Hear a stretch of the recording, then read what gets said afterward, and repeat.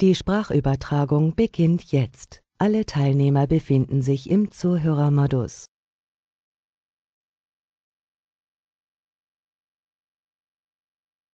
So, dann möchte ich doch mal sanft in die heutige Runde grüßen und erfahre gerade im Chat vom lieben Andreas 80 Punkte Gewinn realisiert hier im kurzfristigen Bereich. Gratulation, freue mich. Du hast vielleicht den einen oder anderen auch rüberziehen können zu unserem heutigen, ja, jetzt monatlich ja immer wieder anstehenden technischen Analyse-Event im Rahmen der Cluster-Analyse mit dem lieben Chris Stern. Aber erstmal Gratulation auch Andreas an dich. Ähm, mir gelang es heute Morgen ja auch so 15 Pips beim britischen Fund mitzureißen ähm, im Sachen Intraday-Trading. Hier soll es ja heute aber viel mehr über oder rund um das Swing-Trading gehen, über Zeitebenen hinweg, die fern vom Minuten, fünf Minuten Chart liegen, sondern hier vielmehr eben auf Tage und Wochen ausgelegt sind. Vielleicht finden wir aber auch den ein oder anderen Intraday-Trade, der interessant sein könnte, wohlwissentlich, dass ich weiß, dass der liebe Christian auch hier Tools hat, die im kurzfristigen Bereich anwendbar sind. Aber da wir das Webinar ja monatlich machen, ist es ja eher etwas, wo wir doch schon die größeren Zeitebenen favorisieren. Und das ist sicherlich für den einen oder anderen interessant. Ähm, gegebenenfalls auch mal eine DAX-Meinung wieder vom Chris zu hören. Und insofern erstmal ähm, kurzes Feedback abgefragt in die Runde, ob ihr mich natürlich auch hört. Im Chat gab es ja jetzt schon Interaktion, aber Bild zu sehen und mich zu hören, das wäre jetzt nochmal so ein Stück weit die Kernfrage. Und dann möchte ich auch gar keine weitere große Vorrede verlieren und gleich natürlich euch auch hier nochmal abholen im Rahmen des Slides zum heutigen Event damit ihr auch wisst, dass ihr richtig seid, nicht wahr? Hier Chris Stern natürlich der Hauptprotagonist und ich so ein Stück weit Beiläufer. Heute auch komplett am Start. Also ich werde jetzt hier terminlich nicht rausswitchen müssen, wie es ja manchmal passiert. Ähm, kann ich also heute neben Chris äh, zur Seite stehen die ganze Zeit. Grüße auch an der Stelle Thomas, Günther, Ottmar. Danke auch für das Feedback, Andreas. Insofern sind wir jetzt hier ja dann doch schon ringsum komplette Tuto. Der Raum fühlt sich auch langsam, aber wir wollen keine Zeit verlieren. Deswegen hier auch nochmal vorab der Hinweis, dann, wenn wir konkret werden oder auch Chris Stern hier oder da eine Trading-Idee skizziert, immer aufpassen. Das sind keine Handelsempfehlungen. Er handelt eigenverantwortlich. Jeder ist dafür verantwortlich, sich selbst um sein Risk- und Money-Management zu kümmern und darf das hier natürlich nie als Handelsempfehlung ansehen. Das sind subjektive Entscheidungen oder auch vielmehr Ableitungen eigener Couleur nicht zum Nachahmen empfohlen. Und wer es denn mag, muss das dann natürlich mit seinem eigenen Risiko- und Money-Management in Einklang bringen und natürlich auch die komplette Verantwortung tragen. Klarerweise. So, dann würde ich mal das Zepter an Chris Stern geben und hier kurz mal das Mic auch freischalten. Ich vermute, liebe Christian ist nicht so weit weg von mir hier wieder am Chiemsee destiniert, sozusagen nahe der Alpen am schönen Chiemsee. Grüß dich, Christian. Ja, einen äh, wunderschönen guten Morgen in die Runde. Ja, ich war sogar schon im Chiemsee heute. das war ich vorgestern. Gestern hatte ich den, äh, das, das Glück, im Tumsee zu gehen. Und da will ich sagen, lieber Chris, ähm, das ist ein Bergsee, der ist dann doch schon so, dass ich sage, also die Tage laufen jetzt ab, äh, dass man da baden gehen kann. Aber Chiemsee sensationell und freut mich für dich. Äh, einfach nur ein schöner Spätsommer, den wir hier mitnehmen können, oder?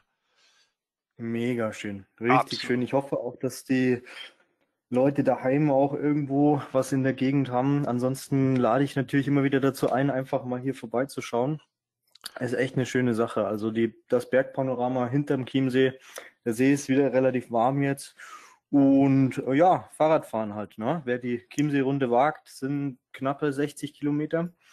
Absolut. Und ich glaube, du hast sie schon gemacht, glaube ich, dieses Jahr, oder? Äh, ja, nicht nur einmal. Also die sowohl von, ähm, sage ich mal, West nach Ost und Ost nach West. Also ich muss sagen, ähm, da gibt's auch die schönere Variante, da wo du praktisch ähm, die Westseite ist dann doch auch so vom Radeln her noch ein bisschen angenehmer. Aber wenn Chris Stern davon spricht, äh, keine Schande im Rahmen der Eigenwerbung. Hier, liebe meine lieben Teilnehmer, findet ihr den lieben Christian nämlich beim Chiemseewirt. Ja, hier gibt's den leckeren Steckerfisch, möchte ich gleich mal zeigen. Schöne Karte habe ich auch schon selbst getestet und war auch natürlich schon vor Ort, weil es eben hier in unserem wunderschönen ja, Alpenländle, sage ich mal, destiniert ist und eben direkt auch am Chiemsee. Insofern, wenn der Chris davon spricht, ihr seid eingeladen hier beim Chiemsee wird, könnt ihr gern reinschauen und überdies ja eine Idee, die auch mehr und mehr wächst und auch an Gestalt gewinnen wird, dass wir hier natürlich auch Events machen, weil der liebe Chris nämlich in diesem, sage ich mal, Wirtshaus, auch einen wunderschönen Vortragssaal hat. Äh, Korrigiere mich, ich glaube, da passen 200 Leute rein oder sogar 300, auf jeden Fall riesig. Ja, so 200 gemütlich, sage ich mal. Ne? Wir haben ja alle einen Laptop dann dabei meistens und dann Richtig. ein bisschen arbeiten und dann aber ich glaube, das, das sollte reichen. Das sollte reichen.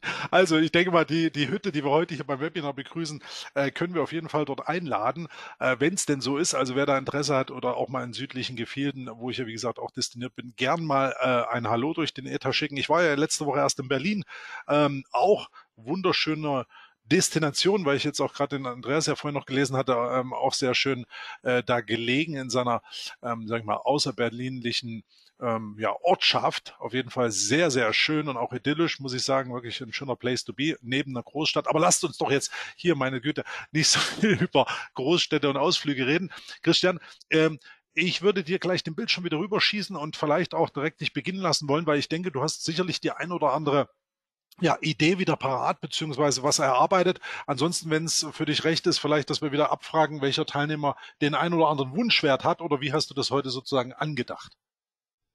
Also, ich würde vorschlagen, nachdem ja jetzt JFD das auch geschafft hat, ähm, dass die Webinare immer auf YouTube dann auch im Nachhinein nochmal anzuschauen sind. Also du kannst ja, kannst ja vielleicht äh, währenddessen mal kurz eintippen und zeigen.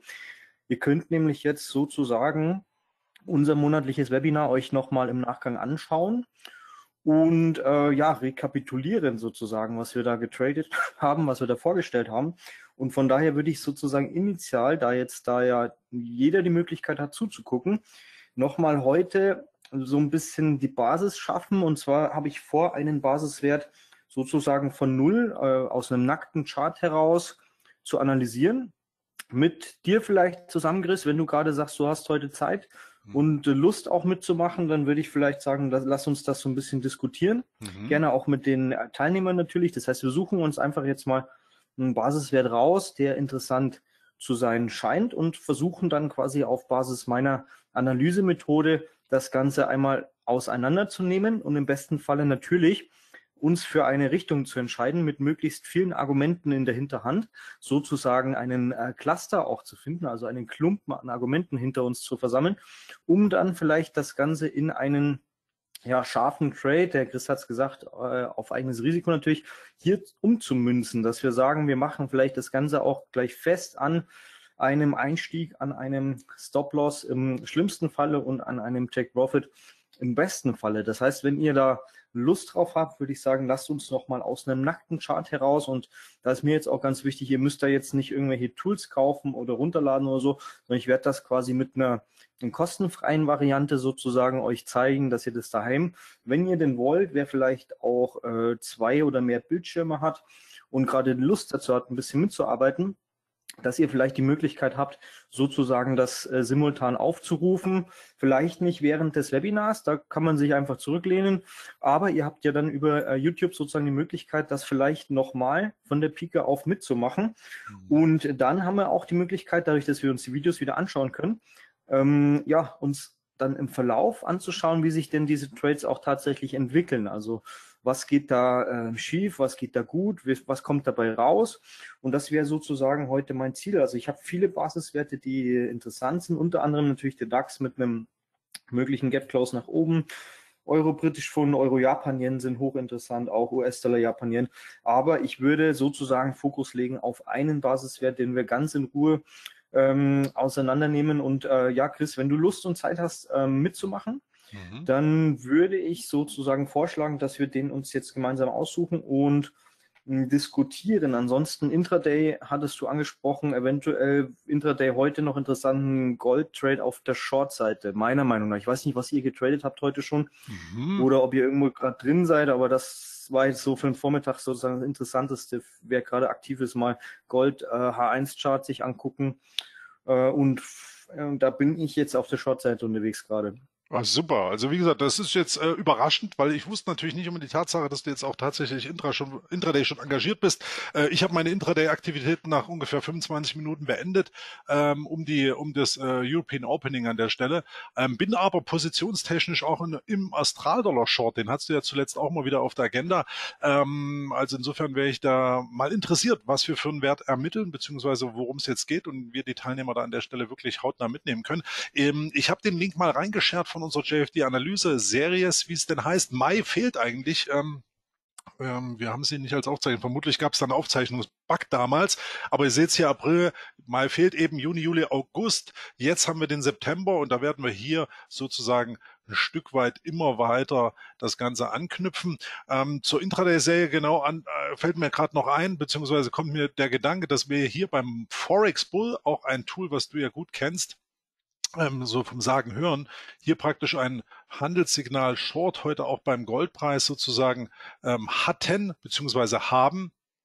Und das können wir uns dann, wie gesagt, hier äh, mal anschauen. Interessant, dass du hier auch Short bist. Also das ist statistisch sozusagen untermauert, lieber Christian, ähm, dass wir heute einen schwächeren Goldpreis sehen könnten. Und es sieht ja wohl auch so gut aus. Also da kann mir der Bernd vielleicht hier auf dem ähm, anderen Dienstweg auch nochmal einen Screenshot reinschieben, wie es derzeit aussieht. Und dann würde ich sagen, Christian, gebe ich jetzt doch gern mal dir den Bildschirm rüber, damit wir mal so ein Stück weit in die Action gehen können, was du uns da heute mitgebracht hast. So.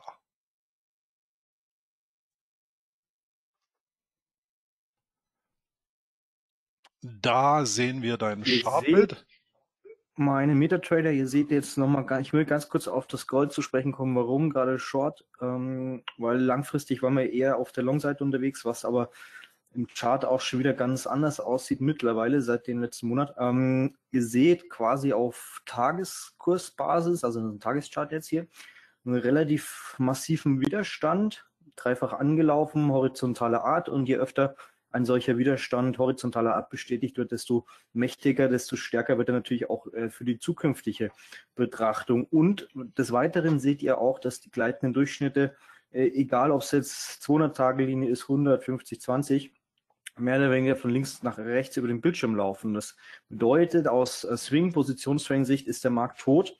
Wir haben im Moment äh, weder eine Trendrichtung noch äh, hier eine große Dynamik drin und Dynamik brauchen wir einfach fürs Trading. Das heißt, die Kurse müssen sich bewegen.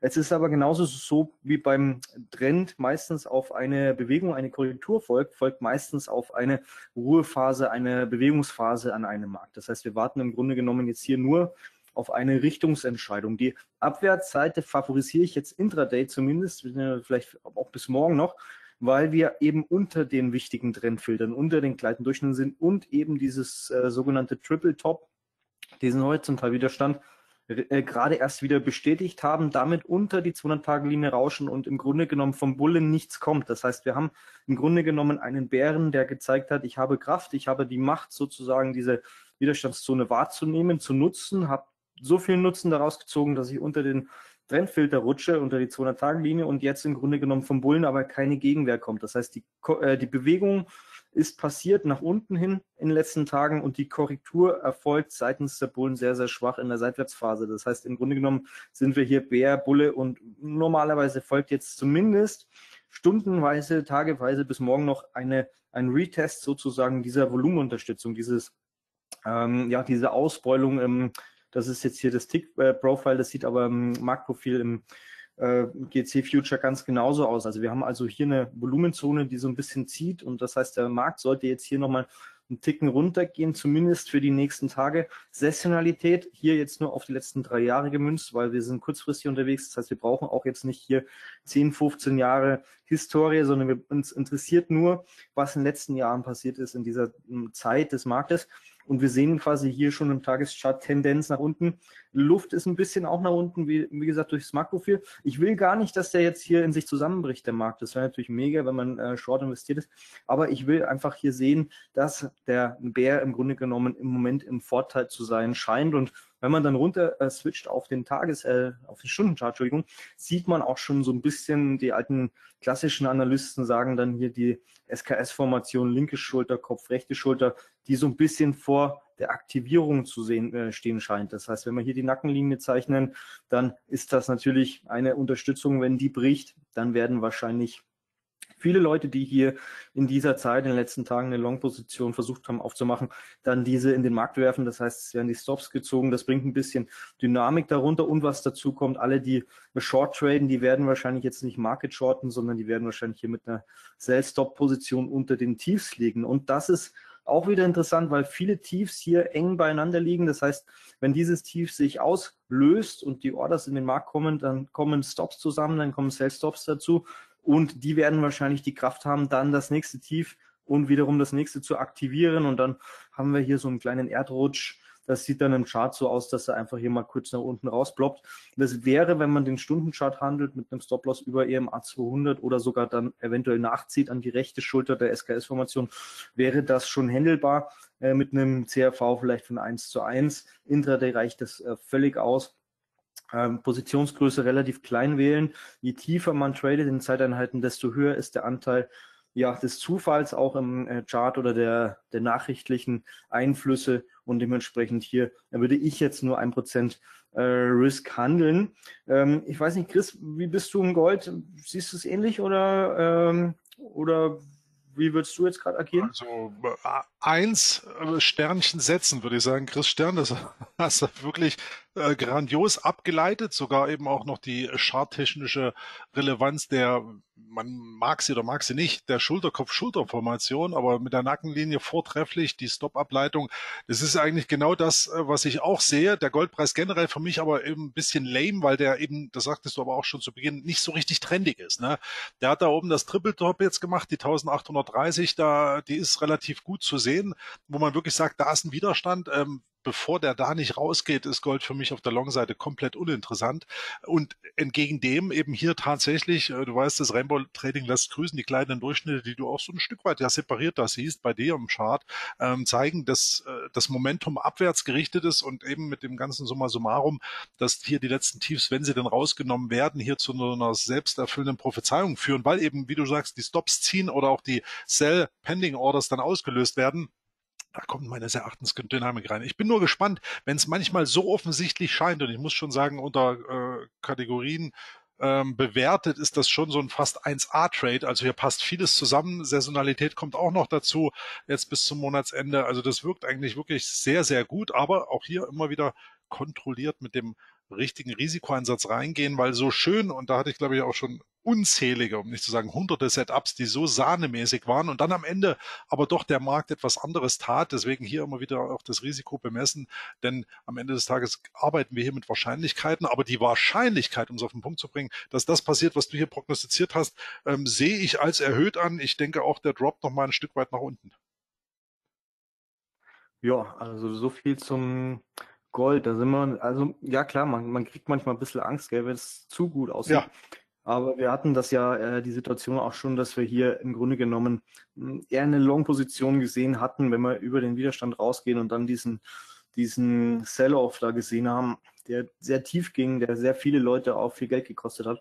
Und im Grunde genommen, wie gesagt, langfristig hier nochmal der Tageschart im Trade Signal eher neutral, schwierig, wenn die Durchschnitte keine Richtung vorgeben, dann äh, ja, dann sollte man sich eigentlich raushalten. Deswegen sage ich ja, heute vielleicht noch morgen Tendenz auf der Short-Seite handeln, kleines Risiko, äh, entsprechend ein Prozent. Äh, könnte man machen, weil einfach diese, diese Stop-Thematik, denke ich, hier äh, so ein bisschen kurzfristig Dynamik reinbringen könnte zumindest. Aber man muss auch sagen, Gold hängt extrem an den Nachrichten dran. Ähm, ja, ihr wisst selber. Wenn es zu gut aussieht, kann das auch nach hinten losgehen. Da gebe ich dir vollkommen recht. Aber im Endeffekt müssen wir es trotzdem handeln, Absolut. weil das ist jetzt sozusagen unsere Aufgabe. Wenn ich schon äh, Setups habe und ich sehe dann nichts, was dagegen spricht, dann muss ich es eben handeln, auch wenn das wieder so ein bisschen ein komisches Gefühl gibt. Aber ich gebe dir da vollkommen recht. Gehen wir kurz rüber auf den DAX, weil wir es angesprochen haben. Äh, ich zeige euch den Kursindex, exkludiert äh, Gewinnausschüttungen, Dividendenzahlungen, also die echte äh, Entwicklung sozusagen der reinen Kurse verglichen mit Dow Jones, S&P 500 sozusagen die bessere Analyse immer im Kursindex zumindest langfristig verzerrt sich das Ganze durch die Dividendenzahlung insbesondere im Frühjahr schon immer etwas. Also man hat manchmal einen Vorteil, wenn man sich den Kursindex anschaut. Hier geht es jetzt aber nur darum, dass wir einen Aufwärtstrend haben. Gleitendurchschnitte sind nach oben. Wir haben auch immer wieder neue Hochs, wie wir es auch letzten Monat besprochen haben. Da hatte ich euch, wenn ihr euch erinnern könnt, auch äh, nochmal davon abgeraten, hier auch wenn es juckt in den Fingern, äh, die Short-Position aufzumachen, sondern eher immer hier äh, das Ganze tatsächlich mit dem Trend zu handeln. Es fließt Geld rein in die Aktien. Es ist viel Geld da. Es werden viele Häuser gebaut. Gerade es Wirtschaft läuft, auch wenn Rohstoffe fehlen, klar. Aber ähm, auch die, äh, die Soforthilfeprogramme der Bundesregierung bis Ende Dezember nochmal ausgeweitet. Also spricht im Grunde genommen jetzt erstmal noch nichts dagegen, dass der Markt in sich zusammenbricht. Es sei denn, es kommt natürlich was äh, seitens äh, der, der Zins ähm, Politik. Das heißt, DAX immer noch mit Druck nach oben, immer noch mit Kapital, das rein in den Markt geht. Und äh, hier initial nochmal der Hinweis, wir haben im Performance-Index jetzt hier, äh, also in der Kasse sozusagen, so ein bisschen äh, eine Kurslücke noch offen. Ihr habt quasi hier ähm, den, den Close des Kerzenkörpers und ihr seht, wir sind da schon mal ein bisschen reingelaufen, aber haben dieses Gap nicht zugemacht. Und es gibt ja relativ viele Statistiken, äh, auch seitens VTAD, äh, die besagen, dass ein Gap Closing äh, zu einer sehr hohen Wahrscheinlichkeit eher stattfindet als nicht stattfindet. Das heißt, das wäre jetzt hier nochmal auch intraday beziehungsweise für diese Woche, für die, die ähm, kurzfristiger unterwegs sind, meiner Meinung nach hochinteressant, dieses Gap Closing hier zu traden. Spricht nichts dagegen. Man hat, äh, man hat auch enge Stops durch die Tagestiefs und dementsprechend Risiko begrenzt und eine, eine hohe Wahrscheinlichkeit, dass das Gap irgendwie jetzt äh, noch zugemacht wird die nächsten Tage. Meiner Meinung nach. Chris, wie siehst du es? Hm, da muss ich dir beipflichten. Also erstmal interessant, dass du äh, ohnehin den Kursindex sozusagen mit dem Performance-Index da sozusagen auch nochmal darstellst, denn ähm, das wird vielen Marktteilnehmern noch gar nicht geläufig sein, dass es da tatsächlich eine Unterscheidung gibt. Ansonsten DAX haben wir natürlich unseren Andreas ähm, als DAX-Experten hier am Start, A mit seiner täglichen Analyse und B im Live-Trading-Room hier immer am fleißigen Schnippeln. Und die 15.7 war gestern auch schon bei unserem Trading-Room am Nachmittag und auch heute wieder, sage ich mal, so ein bisschen das Bollwerk. Ähm, Im Rahmen Gap Close, muss ich sagen, bin ich bei bei dir. Der Markt ist halt liquiditätsgeflutet. Ne? Das ist genau das, wo du sagst, ähm, so, so, so topic manches aussieht, so bärisch auch hier und da das ein oder andere wirkt, äh, so liquiditätsgetrieben sind die Märkte dann am Ende dann doch wieder. Und im Rahmen der großen Zyklusanalyse gebe ich ja den Märkten da durchaus doch noch guten Jahr Zeit im Rallye-Modus, bevor es dann auch zyklisch wieder mal eng werden könnte. Warten wir mal ab, was nächstes Jahr um diese Zeit sozusagen zuschlägt. Aber grundsätzlich denke ich, äh, hat der DAX da auch weiterhin äh, Spielraum. Ist natürlich nicht mein favorisiertes Vehikel, will ich ganz klar sagen. Aber was auch interessant ist, wichtig zu wissen, die Saisonalität. Und da wirst du genauso im Bilde sein wie ich. Der September ist natürlich hier statistisch gesehen jetzt nicht der, der Parademonat. Ähm, du hast jetzt die letzten zehn Jahre, sehe ich gerade bei Siesenax, aber wir sehen hier gerade so genau so ein Droppen ähm, nach unten hin was und wenn du das, das, das Overview machst auf die 33, würde mich nochmal interessieren, habe ich mich jetzt gar nicht so im Kopf. Was ist denn das beim All-Time? Ja, schaut, da wird es sogar noch äh, deutlicher, ähm, dass man eben von dem Sommerloch spricht, ja, dass man tatsächlich ja sagt, äh, sell in May and go away und dann ab im Oktober zurück. Das sieht man hier am DAX äh, auch sehr schön, aber auch um die Tatsache willentlich, dass der September jetzt nicht wirklich der beste Börsenmonat ist. Und äh, statistisch auch hatte ich unlängst die Apple geschossen, ähm, in 40 Jahren genau 25 Jahre Jahre gefallen, mit im Schnitt minus 15 Prozent, das ist mal eine Hausnummer, ähm, hingegen nur 15 Mal gestiegen äh, im Septemberverlauf und das ist auch schon recht deutlich und unterzeichnet oder unterstreicht auch, dass es durchaus hier nochmal ein bisschen ungemütlicher werden könnte mit Blick auf die nächsten Wochen. Also ich glaube, long term nach wie vor liquiditätsgeflutet, eher die Schwäche zum Einstieg nutzen. Aber ob das natürlich die nächsten Jahre jetzt immer so bleibt, nach dem Motto Buy Only, es kann ja nur in eine Richtung gehen, da wage ich dann doch hier und da meine Zweifel auszuwerfen, gerade wenn eben auch die Zinsmaßnahmen, was wir ja sozusagen auch noch dieser Tage im September diskutieren werden, Fed-Sitzung und Co., ähm, da wird ja hier und da doch schon der, der, der, die, die, die, die Schraube etwas enger gezogen und das dürfte sich natürlich auch langfristig dann hier und da an den Märkten auswirken. Aber momentan die Idee selber, DAX, ich bin da eher bärisch gestimmt, in jedem Falle für die nächsten ein, zwei Wochen. Okay, sehr interessant. Also wir haben jetzt quasi Gold gesehen, wir haben den DAX gesehen. Das war jetzt mehr so für die Intraday-Trader oder für die Leute, die diese Woche sozusagen den Trade auch gerne noch zu Ende bringen würden.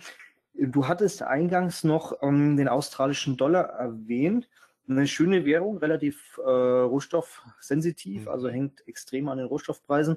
Ich würde vielleicht vorschlagen, dass wir das, was wir vorhaben heute, Ähm, mal schauen, ob wir das am Out-US-Dollar machen können, weil das eine Währung ist, die nicht jeder auf dem Schirm hat. Also äh, ist ein bisschen nicht ganz so populär wie der Euro-Dollar, aber ähm, meiner Meinung nach sehr schön sich handeln lässt. Und äh, wenn ihr nichts dagegen habt, würde ich sozusagen jetzt mal anfangen mit dem Austral-Dollar gegen den US-Dollar in einem wöchentlichen Chart hier unsere Analyse äh, aus dem nackten Chartbild heraus zu starten. Nackt ist er nicht ganz. Ich habe jetzt hier den EMA 200 schon drin in Rot, äh, also den exponentiell gekletterten gleitenden Durchschnitt und den EMA 50 im Blau, genauso also wie das, äh, wie wir das früher bei, bei Godmode Trader gemacht haben, sozusagen, damit wir schon mal sehen, wie der Markt ungefähr äh, ja, sich hier langfristig entwickelt. Und wenn ihr jetzt Lust habt, könnt ihr das Ganze gerne äh, zu Hause mitmachen. Ich nutze hier, ihr seht es oben, äh, Trade Signal Online. Das ist jetzt äh, hier die Variante, die auch nichts kostet. Ihr könnt da quasi Wochen- und Tageschart analysieren. Wenn ihr tiefer gehen wollt, müsst ihr was bezahlen. Aber meiner Meinung nach reicht das schon, weil wir holen uns jetzt sozusagen hier das übergeordnete Bild. Wir holen uns also jetzt hier unseren Schlachtplan und dann können wir rübergehen, wenn wir tiefer gehen in den Zeiteinheiten, können wir dann rübergehen hier in den MetaTrader direkt. Das heißt, wir begannen, beginnen Woche und äh, Tag im Trade Signal Online, bauen uns hier unseren Plan und werden dann den Trade sozusagen eröffnen über den MetaTrader. So generiert ihr sozusagen, dass ihr keine monatlichen Abos oder ähnliches zahlen müsst. Das könnt ihr sozusagen nutzen. Also Trade Online, wer möchte, kann sich da anmelden, kostet nichts, kann das Ganze nutzen. Ich beginne mit dem Währungspärchen Austral, Dollar, US-Dollar mit einem wöchentlichen Chartbild. Und äh, ja, Chris, äh, sag mal, was dir als erstes auffällt, wenn wir jetzt hier das langfristige Chartbild über mehrere Jahre Austral, Dollar, US-Dollar sehen. Naja, entgegen dem, wie man sich das eigentlich vorstellt, kommt der Chart ja von links oben und geht in Richtung rechts unten. Ähm, Corona-Crash inklusive, V-Umkehr da, aber auch ein schöner Widerstandsbereich dabei 0,80, also knapp drunter sogar 0,79. Und ähm, man sieht so ein Stück weit, dass der Markt jetzt wieder am Kippen ist. So wirkt es zumindest. Genau, also ja, du, bist jetzt aber tendenziell, wenn ich das jetzt raushöre, weder direkt äh, bullish noch direkt bärisch gestimmt. Ist das korrekt? Mm, negativ, denn ähm, ich habe auch den COD-Report, jetzt äh, machen wir noch ein Level, ne? das habe ich mir mal erlaubt, heute beim Devisenradar zu besprechen. Ähm, das heißt, die Commercials sind massiv long investiert. Also das sind die Hatcher sozusagen, die, die Rohstofflieferanten, weil du auch angesprochen hast, dass der Australier oder eine Rohstoffwährung ist, der ja hier nach unten jetzt massiv gelaufen ist die letzten Wochen und Monate. Und die haben sich dagegen positioniert, sozusagen abgehatcht. Und die sind wirklich auf einem relativ hohen Niveau. Ähm, und irgendwann dreht das mal, weil die Commercials haben aber einen langen Atem. Also die können wirklich lange, also sie können eigentlich unbegrenzt hatchen.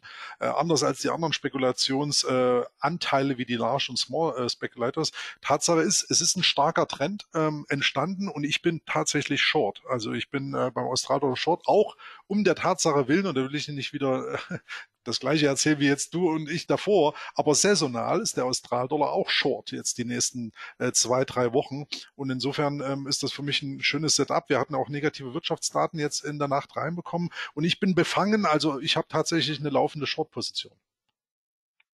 Okay, das ist ja interessant, dass du, dass du da gleich so ähm, Stellung dazu nimmst. Ich würde jetzt mal für diejenigen, die daheim jetzt gerne mitmachen äh, wollen, einfach mal mit der klassischen charttechnischen Analyse beginnen. Das heißt, ich würde sozusagen mir einen Wochenchart anschauen auf mehrere Jahre, einfach weil wir jetzt den Geldfluss analysieren wollen. Wir wollen jetzt also wissen, fließt da eher Kapital rein, fließt da eher Kapital raus, wie ist der langfristige Trend, wie arbeiten die Investoren? Und wir werden uns erst dann in den tieferen Zeiteinheiten reinzoomen, wenn wir sozusagen den Trade aufmachen wollen. Was mir auffällt, ist natürlich hier oben mit dem Doppeltoppen klassischer horizontaler Widerstand, der relativ stark zu sein scheint. Wir sind aber relativ weit weg im Kurs. Das heißt, der ist jetzt für uns erstmal nicht relevant, wenn er natürlich auch ähm, dazugehört. Und wenn wir mal weiterschauen, wenn wir bei diesen horizontalen Widerständen gerade sind, dann kommt hier noch so ein markantes Tief uns vielleicht in den Sinn, ähm, beziehungsweise hier oben auch ein markantes Hoch, markantes Tief. Das heißt, wir haben auch hier nochmal einen Bereich, der horizontal interessant zu sein scheint. Also wir haben hier ein markantes Tief, wir haben hier ein markantes Hoch, markantes Hoch und haben auch hier nochmal so ein bisschen so eine Entscheidungsschlacht gehabt am EMA 200. Dieser Widerstand hat sich jedoch jetzt schon aufgelöst, weil der Kurs sich hier innerhalb des Widerstands aufgehalten hat, nicht mehr reagiert hat. Das heißt, das ist im Grunde genommen jetzt schon Geschichte, interessiert uns nicht mehr ganz so sehr. Was wir noch aus der ganz normalen klassischen Charttechnik vielleicht sehen könnten, sind Trendlinien, die also aufsteigend oder absteigend sind. Meiner Meinung nach jetzt hier nichts, was äh, von Relevanz sein könnte. Alles das, was man verbinden könnte an Tiefs und Hoch, ist im Grunde genommen äh, schon Geschichte. Und die zwei, wenn man die miteinander verbindet, da kommt im Endeffekt jetzt für uns relevant auch erstmal nichts heraus. Das heißt, Trendlinien, Sicht aus meiner Warte heraus erstmal abgeschlossen. Wir haben nichts, was äh, im Endeffekt hier mehrfach bestätigt ist, außer dieses Hoch und das ist erstmal noch relativ weit weg. Klassische Chartformationen würde ich sagen, dass wir hier eine sogenannte auch wieder eine Schulterkopf-Schulter-Formation sehen. Das heißt, wir haben hier eine linke Schulter, wir haben hier den Kopf, wir haben hier die rechte Schulter mit einer aktivierten Nackenlinie. Das heißt, diese Formation ist schon aktiv. Und wer das natürlich aus den Lehrbüchern kennt, der weiß, dass diese SKS-Formation im Grunde genommen auch ein technisches Ziel hat. Wenn man nämlich misst vom Kopf bis äh, zum letzten Tief bzw. zur Nackenlinie und das Ganze dann im Chart nach unten anträgt, dann hat man im Grunde genommen ein äh, Ziel, das diese Formation äh, generiert. Und jetzt muss man ein bisschen aufpassen, wenn man einen logarithmischen Chart benutzt, sollte man das eigentlich nicht so machen, wie ich das jetzt hier gerade mache, mit diesen äh, Quadraten einzeichnen, weil natürlich durch die logarithmische Skalierung äh, das Ganze ähm, kaputt geht. Was man richtigerweise machen sollte, ist, man kann hier ähm, ein Trade-Cycle, das Fibonacci-Tool nutzen. Man kann quasi vom Hoch zum Tief messen und äh, das Ganze dann um äh, 100 Prozent projizieren. Das heißt, man kann dann im Grunde genommen sich hier einfach eine 200er Marke reinnehmen und dann hat man sozusagen das faktische Ziel. Also dann hat man quasi das äh, nach unten hin angetragen. Und nichtsdestotrotz, das Einzige, was ich euch jetzt mitteilen möchte, ist sozusagen, dass wir aus dieser SKS-Formation, die bereits aktiviert wurde, das, das Ziel aus der Technikanalyse heraus noch nicht erreicht haben. Das heißt, hier sozusagen ein aktives Signal, das sein Ziel noch nicht abgearbeitet hat. Das heißt, die Tendenz aus dem Muster heraus sollte nochmal nach unten gehen. Wir sollten also die Marke von 0,7050 ungefähr erreichen können. Das ist also jetzt das, was interessant ist. Ich nehme mal die anderen äh, Retracements raus, die brauchen wir jetzt hier im Moment nicht, einfach nur, damit wir dieses Ziel nicht aus den Augen verlieren. SKS-Formation. Dann hat der äh, Chris Kämmerer schon angesprochen, die Saisonalität und die könnt ihr euch auch ziehen, nämlich als Indikator Seasonal Projection und könnt euch hier zumindest über die letzten Jahre, wir machen mal das Ganze auf fünf Jahre, ähm, ja, die saisonalen ähm, Entwicklung und natürlich auch den Forecast ziehen. Wir sind jetzt also hier an dieser Woche und der Chris hat schon gesagt, es geht tendenziell hier abwärts in der Saisonalität. Also wir haben eine Schwächephase voraus und äh, dementsprechend ähm, ja, haben wir also ein Argument eher für die Short-Position, wie der Chris das schon gesagt hat, als äh, für die Long-Position. Was wir als nächstes noch hinzuziehen sollten, meiner Meinung nach, ist auch hier ähm, das Marktprofil. Das heißt, wir sollten das Volumen hinzuziehen. Das können wir auch wieder über den äh, Indikator machen, Price Volume Profile. Ähm, den würde ich jetzt aber im Grunde genommen so ein bisschen anpassen auf 200 Perioden. Das heißt, wir schauen uns 200 Wochen an. Warum er das jetzt nicht machen mag, weiß ich nicht. Ich nehme ihn nochmal raus hier.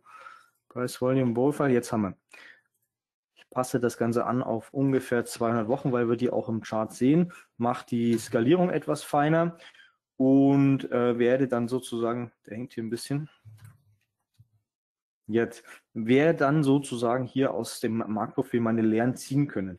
Was jetzt interessant ist aus äh, unserer Sicht heraus, dass wir nach oben hin im Marktprofil eine Leere haben. Das heißt, wir haben hier eine Ineffizienz. Das bedeutet, der Markt hat sich hier oben sehr wohl gefühlt. Er hat sich sozusagen in der SKS-Formation lange ausgependelt, lange aufgehalten, ähm, viel Umsatz generiert und hat dann hier in dem Bereich, wo er nach oben schnell durchgegangen ist und nach unten schnell durchgegangen ist, auch in der Vergangenheit übrigens, ähm, wenig Interesse gehabt zu verbleiben. Das heißt, hier oben ist der Markt relativ uninteressant für die Marktteilnehmer. Es wird wenig Umsatz generiert, wenig Angebot und Nachfrage in Einklang gebracht, Umsatz generiert als hier unten, beziehungsweise hier unten oder hier oben. Das heißt, wir haben hier eine Zone, die der Markt nicht unbedingt suchen wird. Und das ist natürlich hier ähm, ganz, ganz starkes Argument, äh, das gegen jegliche Long-Position spricht, dass einfach der Kurs hier in der Ineffizienz wahrscheinlich kein Interesse hat, nochmal reinzugehen. Deswegen sind wir auch hier kurz äh, hochgegangen, gleich wieder runter in das Volumen rein und was sagt uns das Marktprofil noch? Nämlich, dass wir das Haupteffizienzlevel, das, äh, den Point of Control sozusagen hier unten sehen. Das heißt, wir werden hier mit sehr hoher Wahrscheinlichkeit diesen anlaufen können und auch das spricht natürlich hier aus Sicht des Makroprofils für fallende Kurse. Das heißt, wir gehen hier in dieses, ähm, in diesen Bereich rein vom aktuellen Kurs. Wir sind an der 200-Tage-Linie, das heißt, wir haben offiziell keinen Trend, die läuft quasi von links nach rechts über den Bildschirm, genauso EMA 50 tendenziell leicht fallend. Wenn er weiter runter geht, kommt das sogenannte Death Cross als Gegenpattern zum Golden Cross und wir haben das äh, Marktprofil, das hier natürlich den Kurs anzieht. Dagegen spricht oben eine Ineffizienzzone, äh, genauso spricht für den Short Trade eben diese bärische äh, Sessionalität. Und das sind jetzt alles schon sehr, sehr viele Argumente, die wir hier eher für die Short-Seite gefunden haben als für die Long-Seite. Und auch wenn wir jetzt mal den jüngsten Anstieg noch mit Fibonacci vermessen, sehen wir, dass die Korrektur schon viel zu tief gefallen ist, dass wir also hier eigentlich das 61,8er am EMA 200 gehabt hätten. Das hätte der Bulle nutzen müssen. Da hätte er die letzte Bastion sozusagen gehabt, hier nochmal das Ganze zugunsten des Trends nach oben zu drehen. Das hat er nicht gemacht und auch das ist natürlich ein Anzeichen, dass wir hier wahrscheinlich äh, fallen werden. Und das sage ich jetzt auch nur so. In meinem Kopf ist das ganz klar. In meinem Kopf gibt es jetzt keine Long- Entscheidung mehr. Es gibt kein Long-Szenario mehr, weil die Saisonalität fällt, die SKS-Formation ist aktiviert. Der Trend ist im Grunde genommen mit dem äh, Rutsch dann unter den EMA 200 auf der Short-Seite. Wir haben Volumen, das nach unten hinzieht und dementsprechend gibt es jetzt also in meinem Kopf keine Möglichkeit mehr, dass der Kurs steigt. Wenn er natürlich trotzdem steigt, dann fliegt mir der Stop-Loss um die Ohren, aber das ist natürlich mein Job, diesen zu setzen und diesen mit einem ordentlichen äh, Risikomanagement zu versehen. Das heißt, jetzt hier aus dem Wochenchart heraus schon mal meine Entscheidung gefallen. Ich gehe niemals long, ich gehe maximal short und zoome mich jetzt sozusagen etwas tiefer in die Zeiteinheiten auf den Tageschart, auf den Stundenchart, um hier einfach nur noch meine Einstiege zu finden, beziehungsweise das Ganze nochmal abzugleichen. Kann ja sein, dass im Tageschart das alles ausschaut. Chris, hast du noch ähm, eine Anmerkung dazu, zu dem äh, Austral-Dollar, US-Dollar Wochenchart? Äh, ich sehe, bewegst du die Maus oder steht mein Bild? Also ich sehe, ah ja, okay, genau. Wunderbar. Äh, spannend, also ist, wie gesagt, auch mal wieder alles rund gelutscht. Wir sind jetzt da tatsächlich äh, wieder mal, ohne uns vorher abzusprechen, eigentlich der gleichen Meinung, aber es überrascht nicht. Und es ist ja auch interessant, dass man hier auch synchron fahren kann und dass sowas natürlich auch adaptierbar ist. Das heißt, die Schlüsse, die du, du gezogen hast, habe ich in gewisser Weise genauso gezogen und ähm, trade, was du siehst, ja. Und dann musst du einfach das handeln, was eben vor der, vor der Nase liegt. Und da bin ich bei dir. Im Übrigen habe ich gerade auch vorhin äh, nochmal den ähm, Artikel zu Apple reingeschert in den Chat und habe auch ähm, einen Beitrag vom lieben Bernd aus der letzten Woche, übrigens auch zum Ossi, ähm, nochmal geshared hier auf unserem Pro Trader Desk bei Guidance, da haben wir jetzt sozusagen einen kleinen Trading Desk, wo dann praktisch wir als vier Analysten umeinander gehen ähm, und Trader-Ideen äh, noch und nöcher kreieren. Und da hat der Bernd letzte Woche auch schon den Aussie Short vorgestellt, äh, wohlwissentlich nicht, dass du ihn heute bearbeiten wirst, Schrägstrich, dass ich jetzt auch dieser Tage schon Short gegangen bin. Aber man sieht hier, die Ideen äh, gehen da ins gleiche Fenster und jetzt muss man einfach mal schauen, eben, ob der Markt uns sozusagen in die Karten spielt oder eben nicht. Aber letztlich ähm, wieder rund gelutscht. Ich hoffe, ein jeder Teilnehmer konnte da auch was rausziehen an der Vorgehensweise. Und jetzt bist du ja noch im Wochenchart. Ich bin mal gespannt, wenn du jetzt noch ein bisschen tiefer abtauchst. Ähm, aber gebt mir da gerne mal ein Feedback im Chat, ähm, was euch jetzt besonders gefallen hat bislang oder was ihr euch noch wünscht, beziehungsweise hier und da doch einfach mal ein Feedback. Und ansonsten, Chris, würde ich sagen, äh, the stage is yours. Gern mal äh, in die nächste Ebene. Also das Wichtigste nochmal, um das zusammenzufassen, ihr müsst quasi jetzt keine Abos eingehen, ihr müsst jetzt keine äh, teuren Indikatoren hier kaufen oder sonstiges, sondern wir sind immer noch in der äh, kostenfreien Trade-Signal-Variante jetzt hier im Wochenchart unterwegs. Und äh, aus meiner Sicht ist einfach das Wichtigste sozusagen Argumentationsketten zu bilden. Und je mehr Argumente ihr findet für eine äh, Seite, desto wahrscheinlicher ist es auch psychologisch gesehen, dass ihr zu diesem Trade auch nach Eröffnung stehen könnt, dass ihr sozusagen den Stop nicht verrutscht, dass ihr den Take Profit nicht verrutscht, dass ihr den Trade ganz locker mitgeht, dass ihr da äh, guter Dinge seid und nicht ständig hier auf der MetaTrader App unterwegs seid äh, und uns und euch Sorgen machen müsst, sondern wenn uns das Ding jetzt quasi um die Ohren fliegt, dann ist das eben so. Und jetzt ist es im Grunde genommen nur noch so, dass wir hier ein ordentliches äh, Chance-Risiko-Verhältnis bzw. Risikomanagement draus machen müssen, weil ich sag mal so, nehmen wir mal an, wir haben nur in 50 Prozent der Fälle recht. Das bedeutet, wir könnten auch würfeln, ob wir long oder short gehen. äh, müssen wir im Grunde genommen jetzt nur noch sehen, dass wir für jeden Euro, den wir hier in den Markt reinwerfen, ein bisschen mehr als einen Euro herauskriegen. Und man sieht das schon im Wochenchart. Da muss ich theoretisch müsste ich gar nicht runterzoomen. Wenn ich jetzt also hier die Short-Position aufmache ähm, und das letzte Verlaufshoch auch im Wochenchart als äh, Stop-Loss nehmen würde, dann wäre also vom aktuellen Kurs aus äh, zum meinem Stop-Loss das Risiko entsprechend in diesem äh, roten Quadrat hier. Und wenn ich natürlich taktisch einen äh, Take Profit im Marktprofil beziehungsweise am letzten äh, Tief sozusagen horizontale Unterstützung nehmen würde, dann hätte ich sozusagen das hier als Chance und denke, da muss man gar nicht groß rechnen. Ich sehe sozusagen, dass ich ungefähr für einen Teil Risiko, für einen Euro, den ich in den Markt reinwerfe, ungefähr zwei Euro wieder rausbekomme. Und dann hättet ihr sozusagen, selbst wenn ihr würfeln würdet, ob Long oder Short in euren Positionen, würdet ihr damit faktisch Geld verdienen. Und das ist ja eigentlich der, das einzige Ziel, das wir haben, dass wir eben auf der Seite der Trader stehen, die hier auch ähm, Geld rausziehen aus dem Markt, weil wir investieren ja sowohl unsere Zeit als auch unser, ja, äh, eben unseren Hirnschmalz als auch unser äh, Geld natürlich hier äh, zu riskieren. Und da sollte man dann schon so ein bisschen auch einen Profit immer im Blick haben, so schön auch diese ganzen Lehrbuchtheorien sind. Ähm, ich handle gerne 2 zu 1, ich handle auch noch niedriger. Je größer dieser äh, CRV wird, dieses Chance-Risiko-Verhältnis, wenn man sagt, ich muss bis hier runter traden, desto geringer wird natürlich die Wahrscheinlichkeit, dass ihr diesen Trade auch im Ziel landet, weil einfach das Hin und Her im Markt, diese sogenannte Volatilität, auch extrem vom Zufall bedingt ist. Das heißt, ihr habt diese Schwankungen, eure Positionen werden immer mal ausgestoppt und je weiter der Take Profit weglegt, desto unwahrscheinlicher ist es, auf Deutsch gesagt, dass er auch irgendwann mal erreicht wird. Und wir haben auch immer noch diese Swap-Thematik, dass, dass wir über Nachtfinanzierung bezahlen, zumindest in den aktuellen Zinsniveaus wenig bekommen für Short-Positionen und dementsprechend sollte eine Position aus meiner Sicht auch nicht ewig laufen. Das heißt hier ein schöner Trade, den ich im Wochenchart im Grunde genommen schon rund machen kann. Jetzt ist es trotzdem natürlich unsere Pflicht hier auch in den Tageschart mal reinzuschauen. Ich gehe dazu mal rüber in den MetaTrader, hole mir den Austral-Dollar, US-Dollar. Hier sieht der Wochenchart also ähnlich aus. Wir haben also das ganze Marktprofil, die äh, Indikatoren ein bisschen anders. Das könnte ich natürlich jetzt hier auch ähm, umstellen, sozusagen, dass es genauso aussieht. Ich könnte jetzt sozusagen die ähm, Historie, die ich ziehe, äh, verlängern auf 200 Wochen, auch verkürzen in dem Fall sogar.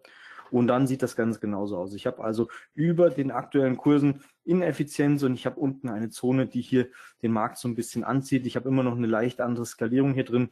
Ähm, es ist auch so, dass wir hier nicht ähm, das Volumen ziehen, sondern das Tick-Volume, weil natürlich der MetaTrader kein echtes Volumen uns mitliefert. Also Austral-Dollar, US-Dollar, Wochenchart hier ganz genauso. Ich sehe schön die SKS-Formation. Ich sehe die gleitenden Durchschnitte von links nach rechts laufen. Faktisch erstmal ohne Trend. Tendenziell haben wir aber viele Argumente gefunden, warum der Bulle hier doch im Vorteil sein sollte.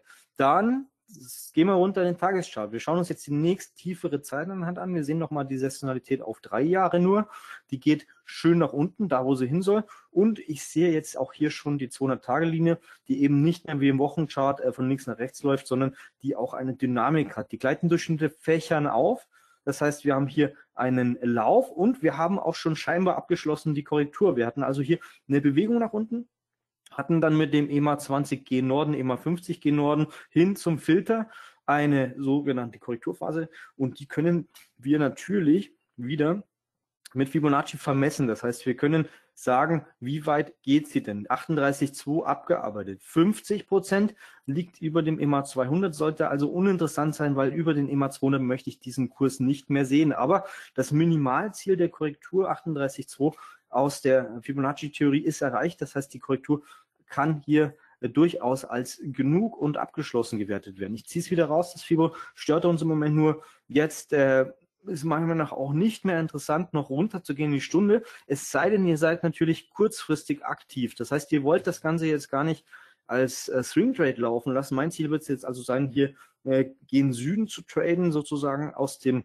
Tageschart heraus. Mir reicht das schon. Wenn ihr sagt, ihr wollt jetzt aber hier den, ähm, den kurzfristigen Trader machen. Dann habt ihr natürlich die Möglichkeit, in die Stunde runterzugehen und auch in die Stunde ist es natürlich hochinteressant. Wir haben Kleidendurchschnitte, die von links nach rechts laufen, EMA 200 und jetzt fächern sie auf, jetzt kommen Leben in die Bude rein, jetzt passiert hier was. Das heißt, wir sind aus der Seitwärtsschiebezone schon rausgegangen und können hier nach unten das Ganze durchtraden. Und nochmal interessant, ich weiß, es nervt vielleicht so ein bisschen, aber wir haben auch hier im Grunde genommen eine aktivierte SKS-Formation. Das heißt, wir haben hier einen Kopf, linke Schulter, rechte Schulter, abfallende Gleitendurchschnitte, abfallende Kursdynamik. Das heißt, wir können hier sowohl in der Stunde als auch im Tag äh, nach unten hin traden. Wir können natürlich, wenn ihr im Stundenchart handelt, den Stop-Loss viel, viel enger, viel, viel aggressiver setzen. Ihr könntet beispielsweise meiner Meinung nach jetzt hier über die rechte Schulter gehen, über die ganzen Gleitendurchschnitte, über das Haupteffizienzlevel Marktprofil Stunde. Und ihr seht auch schon, und das ist das Coole am äh, Marktprofil,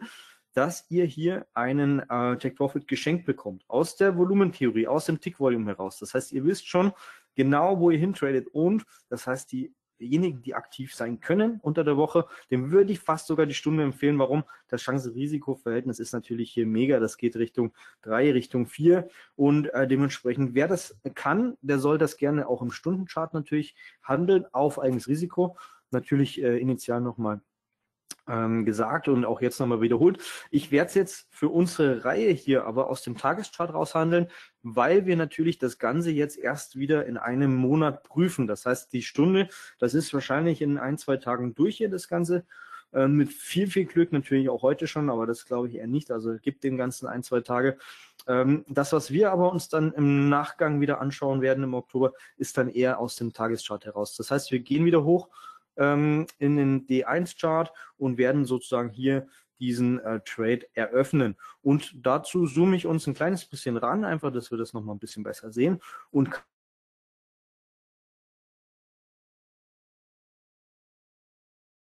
wird, 2% Risiko zu handeln, weil ich weiß, die Lehrbücher sagen immer 1% oder oftmals 1%. Für mich ist das aber auf Deutsch gesagt etwas zu behäbig, etwas zu langweilig, weil wenn ich gute Argumente habe, dann will ich dem Trade auch so ein bisschen Bums mitgeben. Das heißt, wer hier mit einem kleinen Konto handelt, muss meiner Meinung nach fast ein bisschen aggressiver fahren, weil sonst netto nichts dabei rauskommt. Und ähm, ja, wenn ich einen guten Trade habe, warum soll ich dem nicht auch zwei Prozent geben? Das funktioniert in Abhängigkeit von der Equity natürlich genauso, weil wenn das Konto fallen sollte, dann werden auch die zwei Prozent in Abhängigkeit von der Kontogröße natürlich immer weniger werden, wenn es nicht so läuft. Aber ich will den Trade sozusagen auch Rückendeckung geben, auch aus der Equity-Sicht heraus und dementsprechend möchte ich sozusagen hier im Grunde genommen das Ganze ordentlich durchhandeln. Jetzt muss ich nochmal ganz kurz das Tool draufziehen.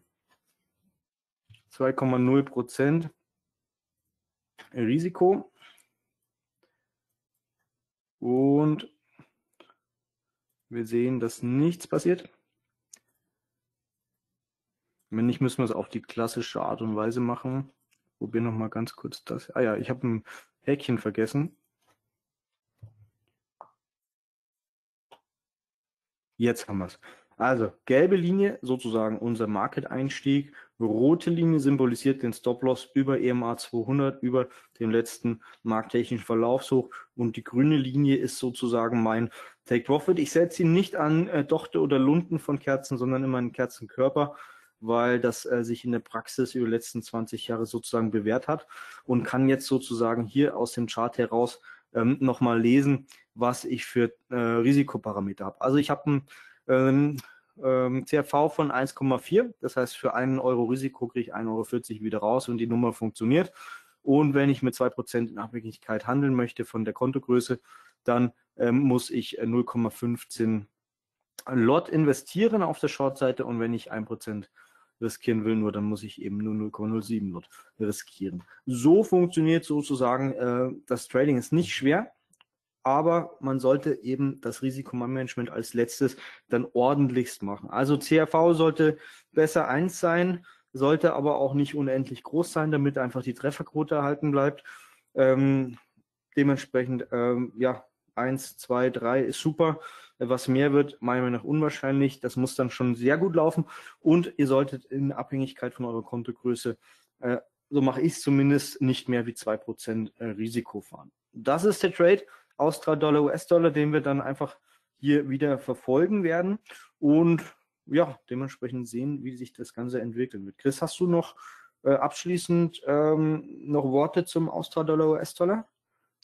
Ah, das hast du wieder rund, rund gemacht sozusagen. Ich bin ja, wie gesagt, auch äh, eingestoppt, hätte mir in der Nacht gerne nochmal so einen Spike nach oben gewünscht. Ich hatte bei 0,7390 noch eine Pending Order, äh, wollte nochmal so in die Kerzenspitzen äh, sozusagen ein Entry machen, bin aber genauso wie du an dem Level jetzt auch short ähm, mit der Idee eben genau.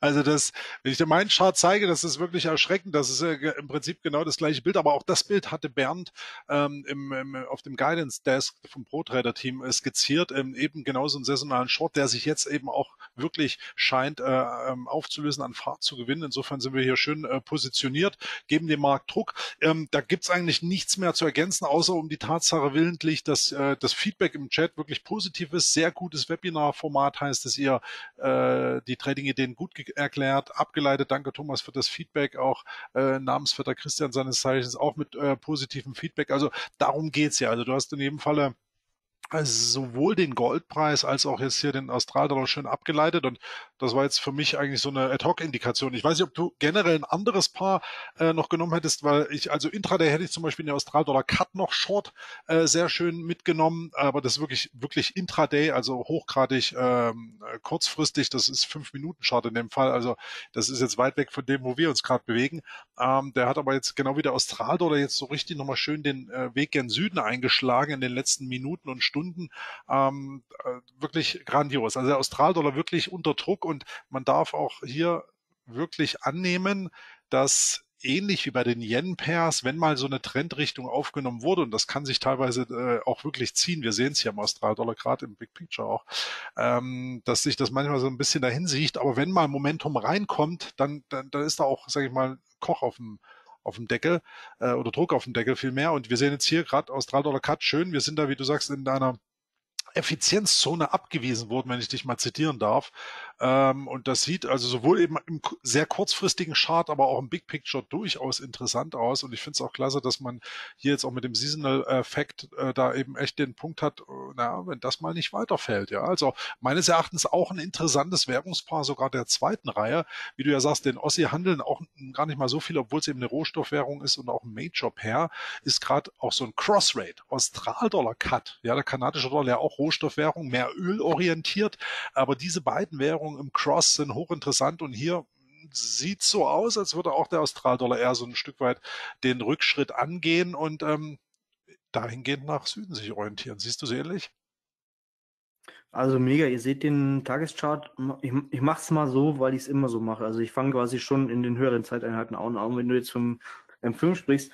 Ähm, Abwärtstrend klar definiert durch das Death Cross EMA 200, EMA 50. Äh, beide abfallen sozusagen der Abwärtstrend sozusagen da. Ich darf Short gehen, ich darf nicht Long gehen. Ich habe eine Saisonalität, die jetzt sogar in den nächsten Tagen noch viel schlechter wird sozusagen. Das heißt, ich habe hier äh, saisonale Rückendeckung. Ich habe aus dem Marktprofil heraus nach oben hin eine regelrechte Ineffizienz. Das heißt, hier war der Markt nie so wirklich interessiert dran an dieser Zone. Also er ist hier sogar innerhalb von einem Tag durchgekracht äh, hat hier mal reingeguckt und wurde abgewiesen, hat hier mal reingeguckt, wurde abgewiesen. Das heißt, äh, genau wie du sagst, vom Volumen abgewiesen.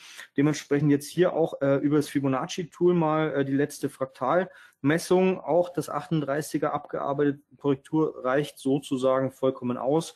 Und ähm, Abwärtstrend natürlich hier mit möglicher Dynamik. Im Tageschart, im Stundenchart sieht das noch schöner aus und hier jetzt nochmal das, was ich vorhin gesagt hatte, was im Out-US-Dollar hoffentlich noch kommt äh, hier schon passiert ist, dass wenn viele, viele Tiefs beieinander liegen, viele Stops sozusagen sich gegenseitig auslösen, dann auch hier stundenweise Druck kommt, dass also eine schwere bärische Kerze äh, kommt und dann gar nicht dieses Hin und Her stattfindet, sondern direkt noch eine bärische, noch eine bärische folgt, bis dann sich der Markt sozusagen wieder sammelt. Und das kann jetzt tatsächlich weitergehen. Wir hatten eine kurze Erholung und äh, wir sehen auch hier noch unten, Marktprofil ist offen. Also wir haben hier sozusagen diese ganze Schiebezone, die der Bulle versucht hat, hier äh, ja natürlich äh, korrektiv zu nutzen, Kraft zu sammeln, die hat sich jetzt zerstört. Also wir haben den Keil kaputt gemacht, wir sind hier nach unten rausgeploppt und äh, der Bär jetzt natürlich erstmal im Vorteil. Was natürlich, wenn das im Outcut so schön aussieht, vielleicht ein kleiner Vorläufer sein könnte für meinen Out US-Dollar Trade. Ähm, ich möchte euch noch ganz kurz ein paar Werte einfach noch mit auf den Markt geben, einfach um das Ganze hier jetzt noch ein bisschen rund zu machen. Ähm, falls jetzt jemand sagt, okay, das ist schön und gut, ich habe es jetzt langsam verstanden, aber ich will noch ein bisschen ein paar Trading-Ideen haben diese Woche. Du, äh, äh, Euro, British Pfund. Ja, Chris? Chris, auf jeden Fall, äh, fahr weiter fort, will dich nicht aufhalten, aber der äh, ein äh, Schub kam gerade im Chat, Australdollar, also wir hacken wirklich auf Rohstoff und Rohstoffwährung rum. Ähm, vielleicht kannst du noch mal ganz kurz neben dem Euro-Pound oder was du noch dabei hast, äh, auf den Aussie-Neuseeland-Dollar schauen. Das sind ja sozusagen beides die ozeanischen Pairs, wo hier aber auch der Aussie deutlich im Rückschritt äh, sitzt. Ähm, vielleicht da auch nur einen ganz kurzen Blick drauf, ansonsten äh, gern weiter. Ja, können wir gerne machen. Äh, Eurofund ähm, interessant, weil schwere Schiebezone, also schwere Langfrist-Seitwärtszone Wochenchart. Äh, der Switch auch in den Seasonals jetzt nach unten. Und ähm, ja, ihr seht das schon, dass sich hier auch einfach der Druck nach unten sozusagen gar nicht mehr in der Korrektur nach oben aufgelöst hat. Also hier Gleitendurchschnitt Death Cross, EMA 50, EMA 200 nach unten. Das heißt, hier könnte sozusagen durchaus jetzt auch äh, der Druck sich nochmal hier entladen Richtung äh, mega horizontale Unterstützung. Auch ihr seht, ihr habt im Volumen schon noch Platz nach unten, also auch tageweise Euro, äh, British Pfund sozusagen meiner Meinung nach äh, ein guter Short-Kandidat jetzt für die laufende Woche und für die nächste Woche.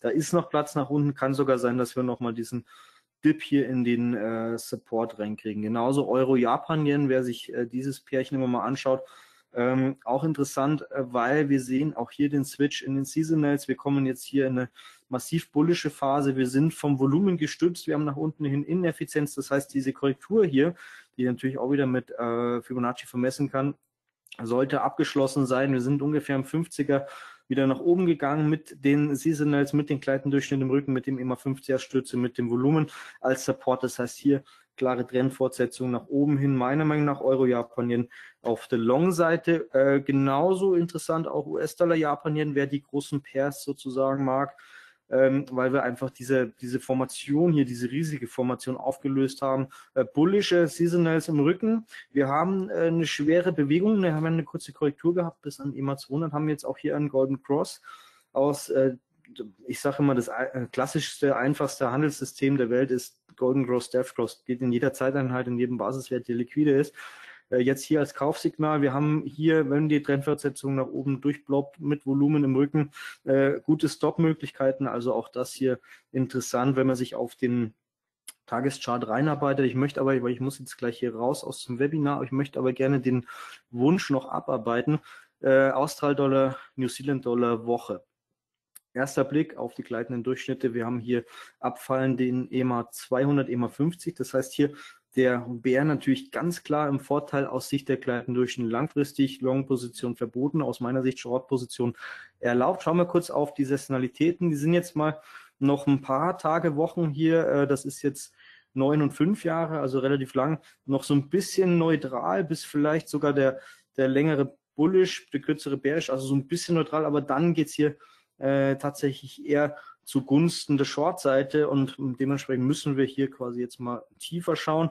Gefällt mir nicht ganz so gut. Warum? Weil einfach das Ding schon sehr weit gelaufen ist. Also die Wahrscheinlichkeit, dass dann auch mal eine Gegenbewegung kommt, ist also relativ hoch. Wenn natürlich hier aus meiner hm, Theorie heraus die Long-Position wirklich verboten ist, also ich darf hier nicht äh, sagen, hey, der ist jetzt weit genug gelaufen, jetzt muss ja die Korrektur kommen, sondern ähm, ja, ich dürfte nur Short handeln. Für Short ist mir das aber zu weit gelaufen ohne Gegenbewegung. Das heißt, hier wäre ich jetzt neutral, wenn natürlich eine Short-Position drin ist, der äh, kann das natürlich mega feiern und hoffen, dass äh, diese bärische Saisonalität vielleicht sogar hier runterläuft, aber vielleicht schon mal äh, auch trotzdem über einen Teilverkauf nachdenken oder einen Stop-Loss aktiv nachziehen. Das ist dann auch schade um so einen schönen Trade, wenn er so weit gelaufen ist. Und äh, ja, eine Gegenbewegung, ihr seht das auch hier, sie kommt dann irgendwann. Also sie kommt immer. Bewegung, Korrektur, Bewegung, Korrektur. Nicht vergessen, auch wenn der, Kurs hier in sich zusammenzufallen scheint. Es sind ähm, beides Volkswirtschaften, die sehr nahe immer ähm, ja beieinander liegen, was äh, natürlich auch sozusagen physikalisch ist, aber auch äh, von den Wirtschaften her, äh, beide auch sehr rohstoffsensitiv, damit zinssensitiv und dementsprechend sind so abartig große Bewegungen meiner Meinung nach gar nicht äh, fundamental so nachvollziehbar. Das heißt, auch hier äh, sollte man immer so ein bisschen, ja, sagen, wo ist die Normalität? Ist das hier okay, was hier passiert? Und da kann vielleicht die Korrektur kommen. Eine Meinung direkt, einen Trade, den ich jetzt aufmachen würde, habe ich ehrlich gesagt dazu nicht. Aber ich denke, wir haben jetzt eine ganze Reihe an interessanten Basiswerten gesehen. Ich habe den Trade übrigens jetzt noch schnell aufgemacht im US-Dollar. Ähm, den schauen wir uns dann das nächste Mal an. wenn wir hier das nächste Webinar abhalten im Oktober, wie es sich entwickelt hat. Ich setze jetzt gleich Stop Loss Take Profit noch und hoffe natürlich, dass wir hier äh, gemeinsam in die richtige äh, Richtung arbeiten. Äh, ihr habt die Möglichkeit, das auf YouTube nochmal alles in Ruhe zu machen. Ich rufe euch dazu natürlich auf, nutzt äh, die Möglichkeiten, die ihr habt. Äh, ihr müsst da nur ein bisschen Zeit investieren müsst euch eigentlich, was heißt ein bisschen, viele hundert Charts angucken, das immer wieder machen, um sicher zu werden, um dann den Trade auch durchzuziehen und hier ganz entspannt vielleicht den ein oder anderen Euro dazu zu verdienen im Anfängerstadium. Wenn ihr da ein, zwei Mal im Jahr von Urlaub fahren könnt, ist das mega. Das sollte auch vielleicht, wenn man es professionell machen will, erstmal reichen und dann kann man natürlich hier über den Zinseszinseffekt äh, vielleicht auch ein Konto irgendwann mal Richtung äh, großes Konto traden und dann natürlich dann hier mit den zwei Prozent Risiko dann auch schon relativ große Summen bewegen, weil wir haben natürlich hier durch den äh, Broker immer die Möglichkeit, ja, ein Vielfaches sozusagen zu bewirken. Aber umso wichtiger ist auch ein ordentliches, funktionierendes Risikomanagement. Das ist ganz, ganz wichtig. So schön das immer aussieht, macht das mit dem Stop-Loss, zieht das durch, versetzt den auch nicht mehr ähm, um einfach dann zu sagen, ich will ja im Nachgang wissen, hatte ich recht oder habe ich nicht recht und Stand heute mache ich einen Trade auf und Stand heute setze ich Stop-Loss und Take-Profit. Im besten Falle verrücke ich diese dann im Verlauf nie wieder, sondern lasse den Trade einfach passieren, um dann zu sagen, hey, war es gut, was ich gemacht habe oder war es nicht so gut, um das zu analysieren, weil wenn ihr im Verlauf immer wieder an den äh, Positionen rumfriemelt und da die Parameter verstellt, habt ihr erstens initial gar kein ordentliches CRV mehr, was ihr ausrechnen könnt, weil sich es immer wieder ändert. Und zweitens müsst ihr irgendwann mal wissen, war das eigentlich richtig, was ich gedacht habe, was ich gemacht habe, oder muss ich vielleicht über meine Methodik mal nachdenken oder mein ganzes Trading-Setup. Das äh, von mir hier zum Ende des Webinars. Mir macht das immer viel Spaß. Ich hoffe, ihr könnt was mitnehmen bei der ganzen Nummer. Und ja, dann hoffe ich mal für alle, die den Trade mitgehen, dass wir hier jetzt fallende Kurse sehen. Chris, ich sag äh, danke für die Möglichkeit hier und äh, ja, hoffe, du bist dann nächstes Mal auch wieder dabei, ähm, dass wir uns das nochmal angucken können. Sehr wohl. Die Termine sind gesetzt, Chris, und wie gesagt, mitgehangen, mitgefangen. Ähm, ich bin dabei, ähm, würde dann wahrscheinlich meine, meine Pullback-Order auch rausnehmen, weil dann wäre ich dann auch mit einem größeren Risiko dabei. Das mit den 1,52 Prozent von dir fand ich auch gut, äh, dass du sagst, bei kleineren Konto darfst du ruhig mal höher gehen. Ich meine, man arbeitet ja mit einem Vorteil und wenn der Trade gut aussieht, darfst du auch mal zwei Prozent riskieren oder drei. Wohlwissentlich, wenn das zehnmal hintereinander schief geht, hätte man bei drei Prozent eben 30 Prozent seines Depots verraucht. Aber das äh, will man ja gerade ausblenden, beziehungsweise wahrscheinlich technisch technischerseits betrachtet auf seine Seite ziehen, dass das eben nicht in diesem Maße schief geht. Aber haltet euer Risiko im Griff. Super Webinar, Chris, also großer Mehrwert. Ähm, Im Gegensatz zu dem einen oder anderen, ähm, sage ich mal, Education-Webinar, was wir hier und da haben, war das wirklich sehr praktisch, sehr live, sehr gut abgeleitet. Ähm, das Feedback ist auch genauso in diese Richtung hier orientiert.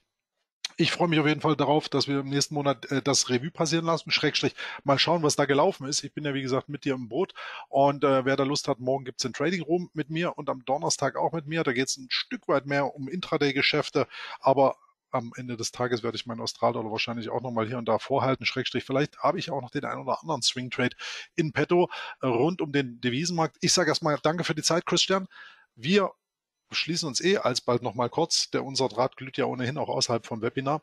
Insofern allen und dir insbesondere, Chris, eine schöne Zeit am Chiemsee. Noch mal ein paar schöne Sonnenstunden mitnehmen, bevor es die nächsten Tage wohl wieder ein bisschen drüber werden soll. Machen wir das Beste aus den Situationen. Ich sage danke für eure Zeit und freue mich auf das nächste Webinar mit dir, Chris. Bis dahin. Danke. Tschüss in die Runde.